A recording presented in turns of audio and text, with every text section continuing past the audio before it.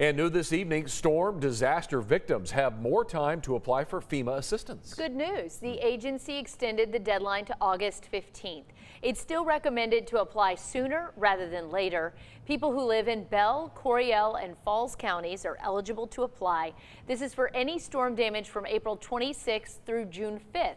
FEMA can assist homeowners and renters. And there's now a disaster recovery center open in Falls County. Anyone in need of one-on-one -on -one help can visit the DRC. It's located at Marlin Middle School on Success Drive. No appointment needed. The FEMA Center in Temple at Tarver Elementary is still open as well. Centers are open 7 to 7, seven days a week. Just remember the sevens. Mm -hmm. The city of